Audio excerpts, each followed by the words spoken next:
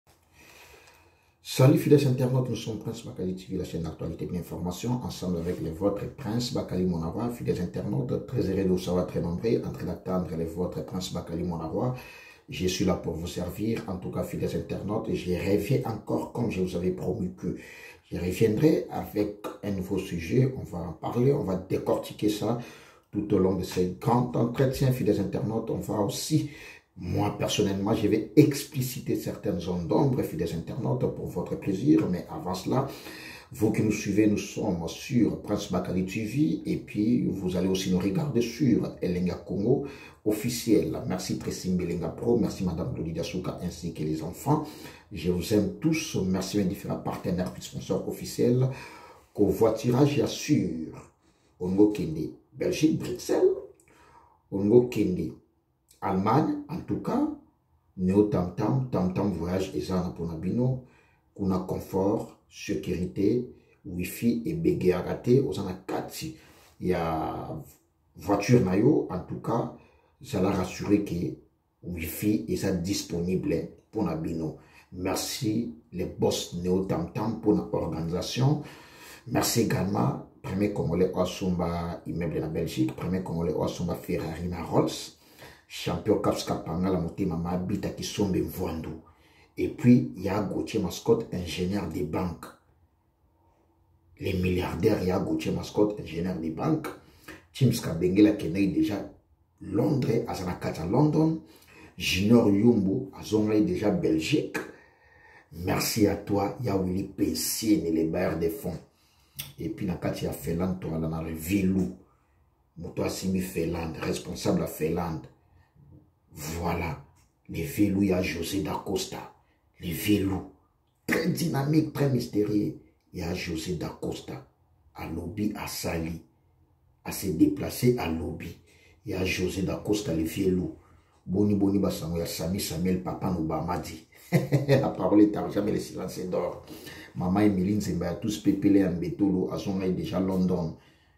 ba séjour ese pasa ye très bien na kinshasa mama emeli nzemba leli abi prince bakali na moni ka yo te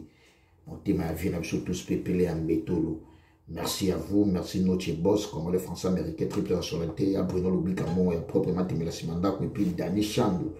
les Chinois congolais, Dani Chandou. Merci à toi. Fidèles internautes, je ne vais pas y aller plus loin pour ne pas monopoliser la parole en tout cas. comme je vous avais dit que je reviens avec euh, un nouveau sujet par rapport à la promesse sur la Abinon. Euh, avant que nakutana mama likam je vous informe déjà que l'artiste musicien héritier watanabe patron ya groupe team wata ensemble avec bapule na ye baose déplace déjà bazozwa avion na bango lelo pour les états-unis d'amérique bakende okutana na banoche congolais français américain bake mboka baya bruno lubika mbongo ya propre matemela nsima ndako bake états-unis d'amérique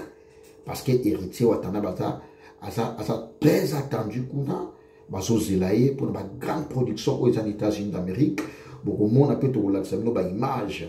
parce que tokozala en contact na bango bokozwa baimage bokomona ndenge nini ba production ya monsieur le, monsieur le chanteur héritier watanabe excellence ambassadeur de la ambassadeur ya tourisme ndenge azongi kobeta na états-unis d'amérique na bamusicien na ye nyonso tout au grand complet baoke délégation ya 75 personnes s'il vous plaît délégation ya 75 personnes baokende mpona grande production wana oyo eza na états-unis d'amérique et puis euh, après états-unis d'amérique aza na tourna monene okende canada babi héritier ake rebâtir aussi canada mboka ya ba référence ya canada jibon mbala monsieur le noir jibon mbala très dynamique très mystérieux jibon mbala na kati ya canada wana moko te référence ya canada jibon mbala bientôt ozoyamba wata ozoyamba wata na kati ya canada wana jibon mbala après canada wata otambola ba belgique awa ayeba ba france atamboli partout félicitation aussi à toi monsieur ig bina filet tomonaki showbase elekaki kitoko eh, papa oyo baloba yango ti idologie yango esengaka mpe no mwasa makasi voiture makasi pala makasi bato mpe ndule ya plein bilamba mpe elobaka mvwata kumvwata mote losali mwa baclima mwa jeu de jean joli malanga charabono mote mwa jeu de jean na nzoto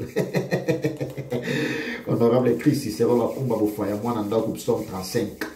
futur premier ministre joli malanga charabondo yebi mamango chris cicero bakumba bofaya psaume 35 mwana ndako mwana palais eh, chris cicero bakumba mwana ndako mwana ndako na lela créa na fort ya ibraton mpia na yale félicitation à toi binafile tomonaki sale wana showbase parce que s'il faut le dire toza na salle prestigieuse oyo totikala nango ezali bamusiciens oyo babeti pour que bato bandima yo pour que lisolo mpe ebetama na ndenge ya crime eza publicité na osala te mais eza réalité oyo biso toyebi showbase wana soki obeti yango etondi osisi bafaire releve défi tomona ba werrason babeta yango excellence monsieur l'ambassadeur kofolo nde na parlo pas tomona inos bipe abeta yango eh, héritier watanabe kutu eh, oh, mama na événement oyo baoyo na nsoni bazalaki wana ezalaki somo mpesi mwambo aboyi tomoni mpe bina fila son tour abeti en tout cas Encore une fois de plus, mes très sincères félicitations à toi, Ig Binafili. Tokota na maman na likambu, premier sujet na biso, par rapport ya batu babenga moi trop, Babi Prince Bakali, ozalaga mwana roi, yon des défenseurs ya ba bonne valeur, tolingi ou expliciter biso certaines zones d'ombre par rapport ya dossier ou ezoleka, ya manike de john na kisindjora oyo baza mwasi na mobali c'est-à-dire mwasi ya grand frère na ye personam mababia que son âme repose en paix bayani kainga lamoni invisible babi prince bakali explicite biso certaines zones d'ombre mpo na makambo yango avi na yo eza nini parce que bobengi nga mwa trop Pourquoi bobengama trop parce que boyebi que Prince Bakali mwana roi asalaka défenseur ya ba bonne valeur. À un certain moment ezaka makambo mosusu mpe esengaka te bapesa nango conseil. Ezosenga tant que motu, tant que oza na kibomoto, oza na sens ya kibomoto. Il faut sala yango ndenge conviction na yo ezotinda yo kosala yango en bien. Est-ce que par rapport ya sujet ya manike na kisindjora ndenge eye kobotama ezosenga mpenza ke non baleka nango ke bapesa conseil non ezosenga conseil te pour ke esalama ndenge oyo nga na oloba tout à l'heure là avant ke naloba yango tozonga na mwa rétrospectif moke manike na kisindjora awa afa basala réconciliation na bango oyo code ya mboka l'éternel code mondial ya wili musheni oyo eza mwana yo anniversaire na yo joyeux anniversaire ya wili musheni code ya mboka ava asala bango réconciliation deva presse toyebi nde mama bango ebandaki bref bayosala réconciliation est ce que tokosouhaite tomonaka manike na kisindjora bazala toujours na ba mésentente je ne crois pas moi personnellement c'est pas ça vraiment mon souhait le plus ardent tosepela tomona bango bazala toujours na ambiance oyo eza na cadre ya famille parce que mwana aza déjà na kati wana faut amour et régner entre bango kuna tomoni manika aleki na miso aloba que mjora désormais alobela asumama prince te moi na ngai nasepela que aloba yango avant avant alobela bapropos wana avant concours ebanda oyo concours tomonaki oyo batele réalité wana falaki ezala bongo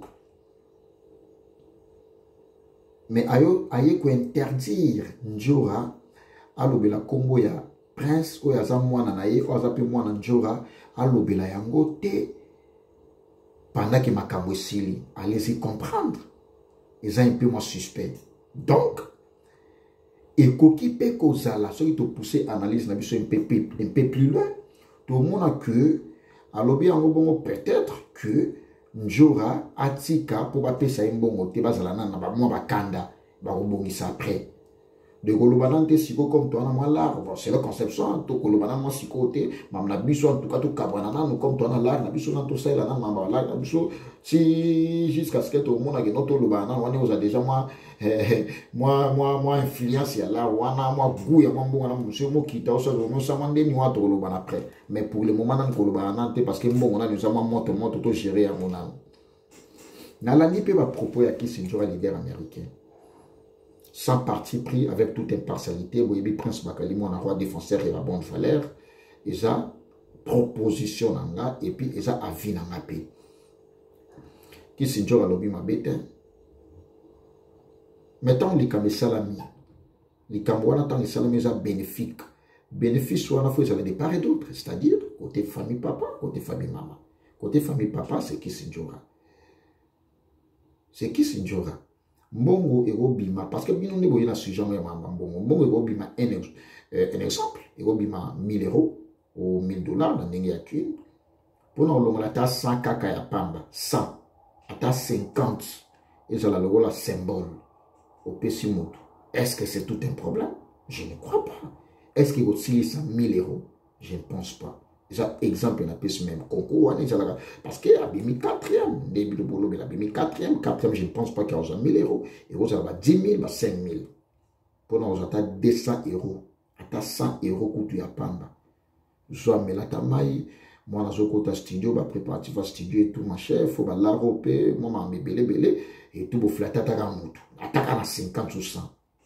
Je ne pense pas que Ndjora aza na faute.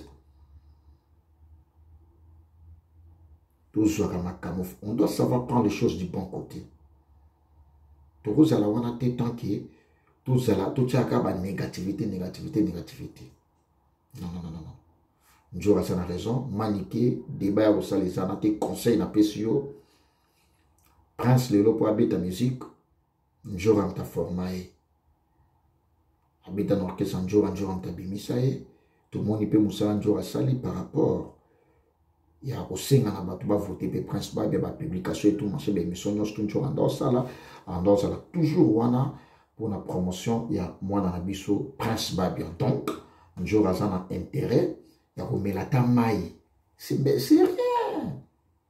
c'est rien manike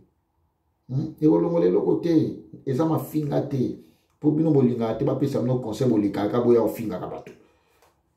nga prince bakana alanga moto ya mafinga te naza na moto ya baconseil napesa conseil mpo nga naza défenseur ya babonne valeur mwana roi premier chroniqueur ya presse en ligne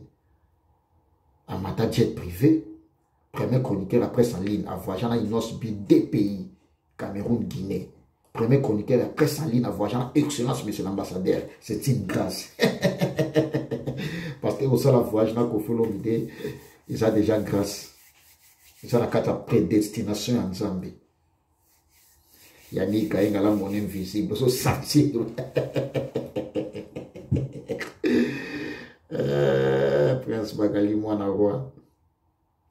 champion caps kapangala be ngabi prince bakali champion caps kapangala motema mabi tangi sobe parce que so tangi champion caps kapangala référence na ye ezalaka premier congolais asomba immeuble na belgique référence nde mosusu ezalaka motema ya mabi takisombe hôtesse de l'air wana référence ya champion caps kapangala référence ya champion wadol mokonzi ya la rochelle ezalaka la rochelle champion adol référence ya keni mbumba arme lourde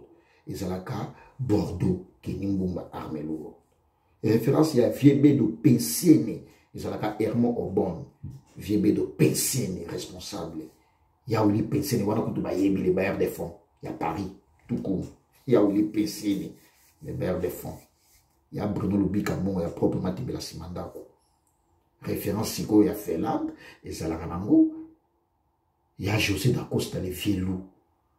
après oye wana sami samuel papa nobama londres nde bolala pongi ya gautier mascotte ingénieur de banque mvwandu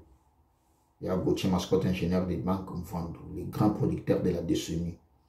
batims kabenge le l'homme des immeubles baya diamal mukuna ya joli menga ya diamal mukuna bamama emeli nzemba ya tous pepele ya mbetolo mare na ngai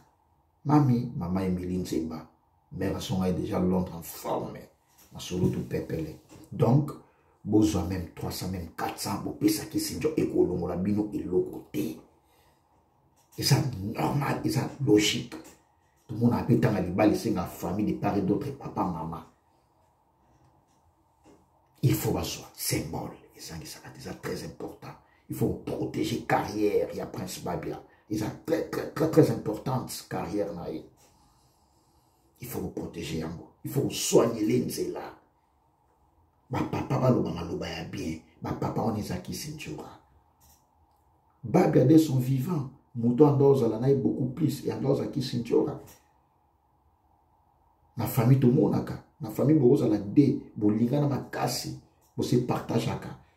baide mabe ebele bozalaka beaucoup plus ensemble babiando azala beaucoup plus na kisinjora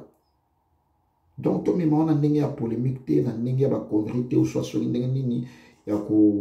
kotakinaka kisinjora koen vouloir ye non aza mpenza na raison wana pwana ntuka prince bakali mwana wana bino defenseur ya babonne valeur eh, kisindjora alobi ke kisindjora aza na raison tokota deuxième point oyo bato ebele babengi ngai bato mingi babi prince bakali non tomoni olobaki lobaki tomoni kopesa ye badetail par rapport ndenge bato balobaki banda okanisela yo no prince bakali osala bacampagne mabe mpona fali ipupa non Je vous signale que je suis défenseur ya ba bonne valeur, je suis là pour tous les artistes musiciens congolais. Et ce botali même ba intervention na nga, bokomona ki nalobaki Fally c'est un grand artiste musicien congolais. Aucune émission nalobaki Fally aza musicien moke, non. On doit les protéger.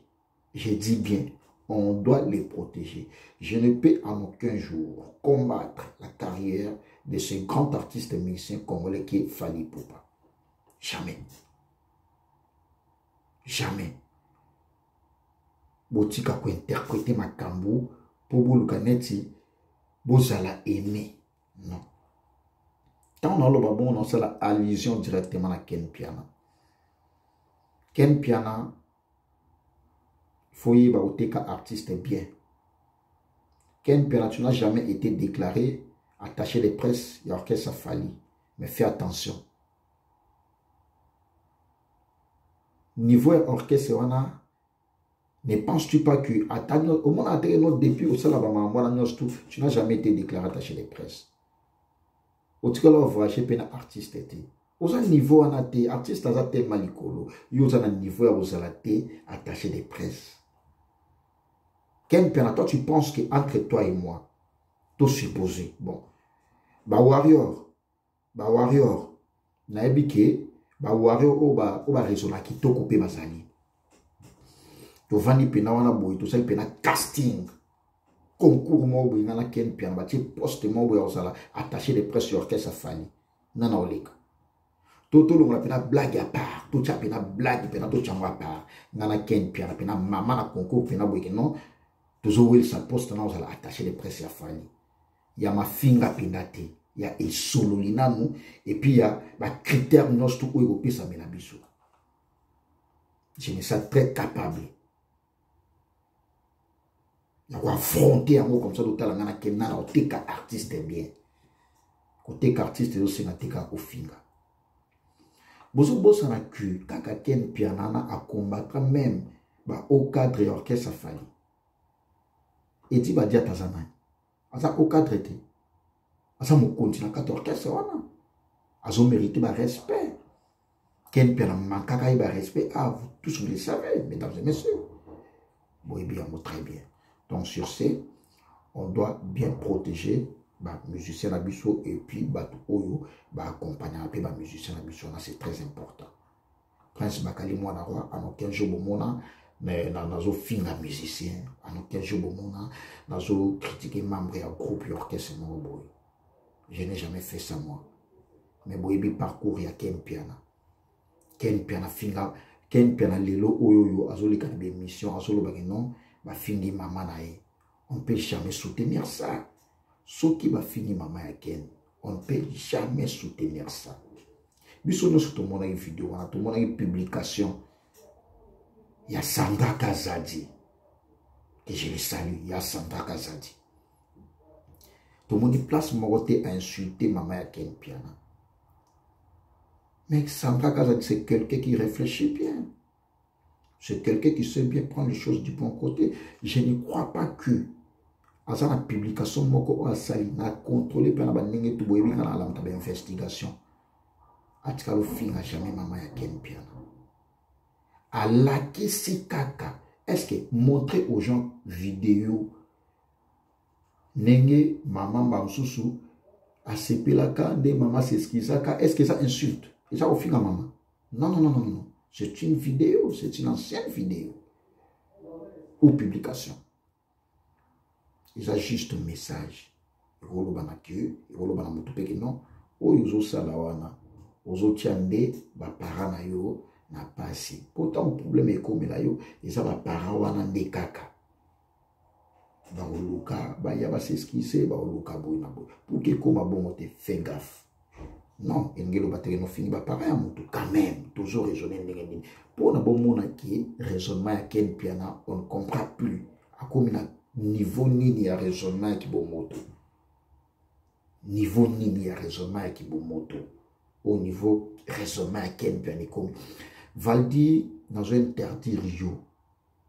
tika kosala bemission na ken piana ezokomisa meme niveau na ken mbuta likasi kutu akoma nde deja meme niveau na ken mbuta likasi wana kutu bobo mbuta likasi na ken bakoma bakoma na, na meme, meme poubelle mbuta likasi na ken valdi tika kosala emission na ken ezokitisa yo tala niveau ya raisonnement oyo bafingi mama na nga oyo basali boye na boye estce que ken piana bafingi mama pourquoi ken piana yo kutu ofinga mama ya ferikola geslinias ofinga ye plusieurs fois ferikola ken piana ofinga mama na ye ken piana ofinga bamusicien nyonso ken piana wana werrason mosolo asute poine kempe na combien de miso osalasala keno fala kabila wa balaki te combien de miso osalasala contre fali kozala hypocrite te omoni nga bawaro balingaka nga makasi pour ton information nga afinga afali te fali aza na besoin ya critique normale parce que aza artiste musicien nga naza chroniqueur naza na droit ya kosali critique normale nga so nafinga fali kala bavideo ebima oyo nga nafinga fali nga nakosala campagne ya mabe te mpo na concert ya fali neti na minute ya information eza na possession na nga fali pupa obeta stade de martyr eza confirme on doit les soutenir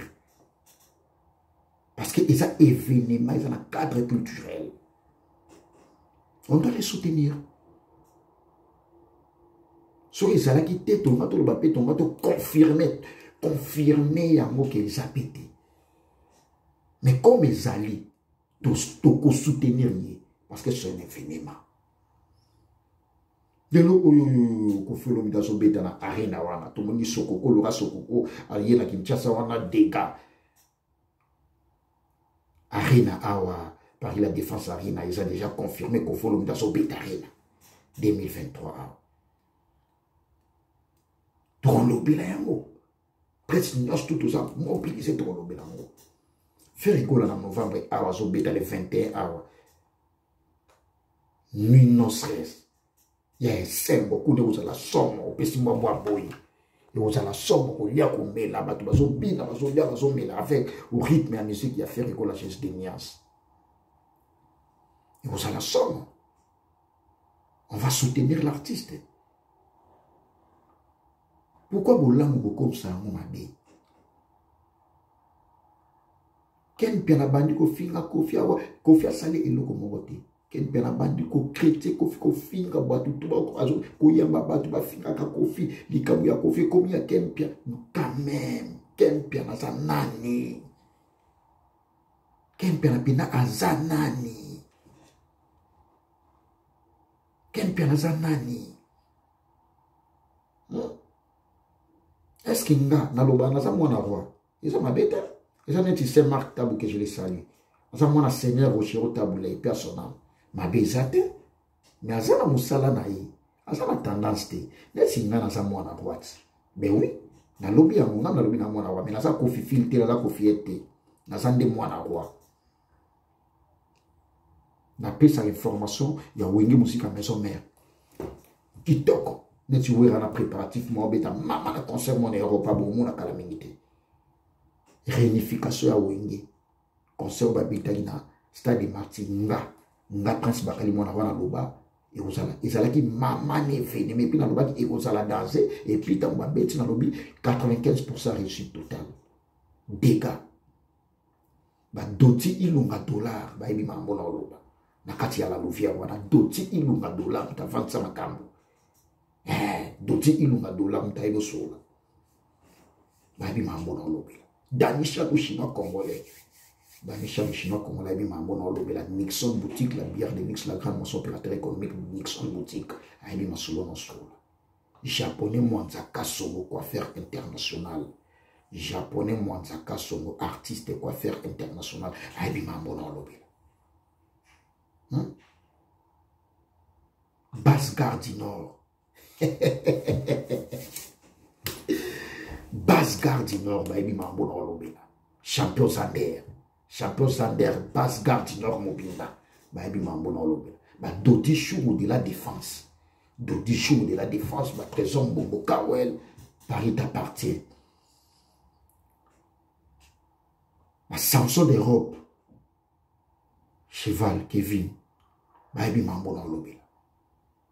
kevin cheval blanc samson d'europe bayebi masolo na osolola bafranci ngonda garçon de disque franci ngonda garçon de disque bayebi masolo na osolola prince bakali nalobelaka fere ekola jesus de nias nalobelaka inonce bile jeune leader moto ake arebâtir anettoye états-unis inonce bi nalobelaka yango tala nde nalobeli keno concert afali akobeta na stade martir wana tokosoutenir ye nalobeli yango pour vous dire que je suis là pour tous les artistes musicien congolais naza nateka parce que naza mwana roi particularité nanga mwana roi non palpa n'en parle pas ke nabandi kofinga kofi bino bolobi bozobeta maboko bozosala motu moko aza so na ba 20 ans na 30 ans bozo apprecie bozokubisa bozoseka hmm? ke nabanda kofinga eh, ke na afingi ba weranson awa ke nafingi ba ferregola ah, bomono weranson bakofelo mido motu bakipe ken mais soki soki moto azwi badisposition akipe ye pourkui bomonaka motu wana mabe ntango azofinga wana bosepela nango ti akomi ntina niveau ya kokosa makambo mpo asalaka baemission na ye ya babetise wana ya kodenigre bamusicien ke baofingele mama toi tu penses ke biso toza bazoba eya koyoka bapropos nolobake no prince bakali musicien moko boye moto azotinda ye ken ozwa nga nani depuis kin nazala complexe te aucun artiste musicien depuis na banda mosala oyo atinda nga lobela musicien boye depuis même na ndoza na kinshasa na boyebi combien de fois excellence mesa na ambassadeur kofolomida na obenganga omoni ntango osala émission na opesa na baconseil abi kotanga ano koma ya ministère te kofinga ano te koloba boye te kofolomida aloba na kabi nasepela ano parce que ofingaka te kotanga na noko ma ministère te somo ba fan na bango ba boya uta kotanga ba komba ministère te sala musango bien kofolo ndando apesa ba concert bien alors quel jour atinanga finga musicien boy héritier watana de kutu monsieur le chanteur on a banda na ye atikala oloba na te non lobela ministère boy non non non non aloba yango te innos bi les jeunes leaders kutu wana kutu bosana akipani mamba batu te baibaton piana babina file basele oscram poutine sele oscram batikali kotinda nga te siko musicien oyo osala lision ke akotinda nga eza nani hmm? eza nani bomoni ke bocrea na bino makambo kaka bino moko ntango moto oya olobana o oh, borenverse bo, bo, yango bokomisa yango na babétise babizarre na bino bozalaka na yango prince bakali mona roi défenseur ya babonne valeur merci na bato nyonso batali ngai toza na prince bakali tv et puis na elenga congo officiel merci très simba elenga pro merci madame lodida suka ainsi que les enfants en tout cas bolongola makanisi wana na motu na bino que sangaka zadi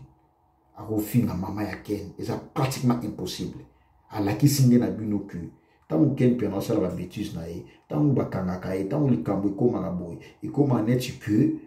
bafamille fo baya koseskise babondela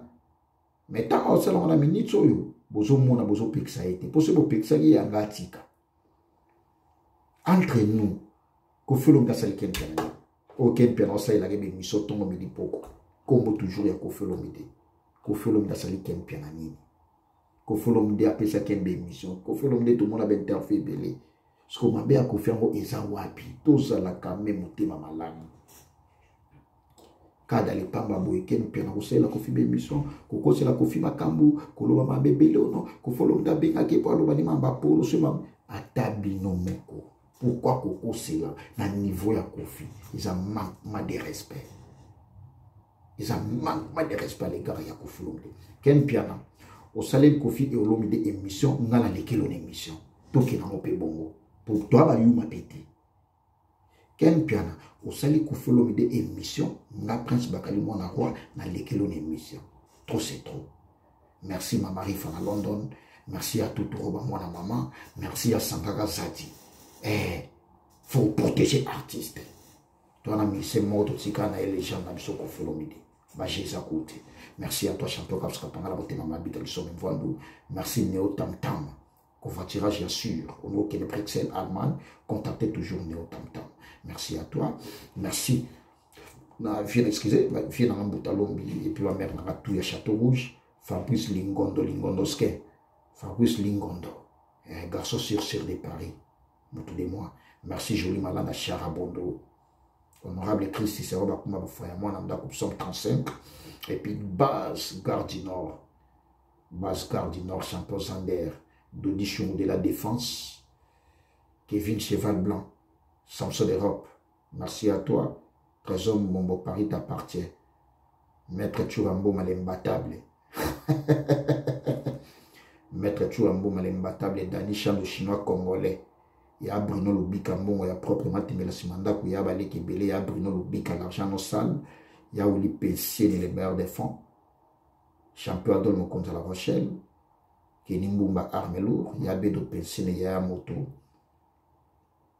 Maman Emily Nzembe à tous pepele ya mbetulo ya Gauthier Mascotte ingénieur de banque et puis merci infiniment na bato batali prince bakali mwana roi le vôtre et là je suis là toujours pour na kosala du bon boulot pour votre plaisir mesdames et messieurs merci à vous japonais mwanzaka songo coiffeur international et puis le vieux louya josé da costa Sami Samuel papa na Obama wana ba filanga na kata Finlande je vous salue Junior Yombo ya Gisèle Zinda asonga ye déjà bela Tite Matilu je te salue ya Charlie Binda et puis ma Mireille Leka motema vela social masunda Dodi Shungu Dodi Ilunga pardon Dodi Ilunga Dodi Shungu kotika pe moi trop Dodi Ilunga dollar merci merci merci Prince Bakali les vôtres moi na roi aza wana toujours mpona kosalela bino vrai bolo mwana yango aza wana toujours mpona kodefenseur mpona kodefendre plutôt badefenseur ya babonne valeur au prochain numéro avec le même plaisir merci beaucoup